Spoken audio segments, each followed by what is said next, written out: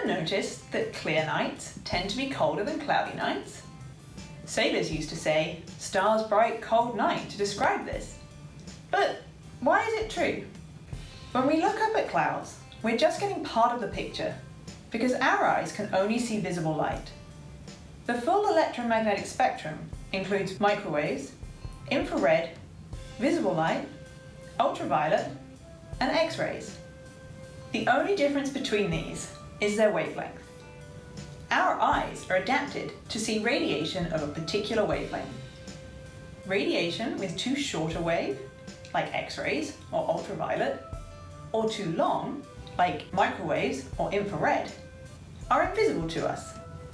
We can expand our vision of clouds using an infrared camera. This is the same technology that's used in thermal night vision goggles. In this footage, red and yellow colours are used to show things that are emitting the most infrared radiation. Pink and blue colours are things that emit the least. This shows us that clouds emit more radiation than the rest of the sky. Now let's see what happens if we use this infrared camera at night. Even though there is no visible energy from the sun, the sky looks the same in the infrared as it did in the daytime. The clouds are still emitting infrared energy down towards us. And just like visible radiation, that's sunlight, warms the Earth's surface during the day, infrared radiation also warms the surface. So at night time, clouds keep the surface warmer.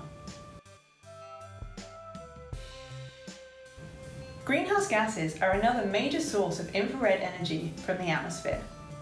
So when we put more carbon dioxide into the air, there's more infrared energy coming down. This heats up the surface and has caused the Earth to warm by more than 1 degree Celsius since the Industrial Revolution.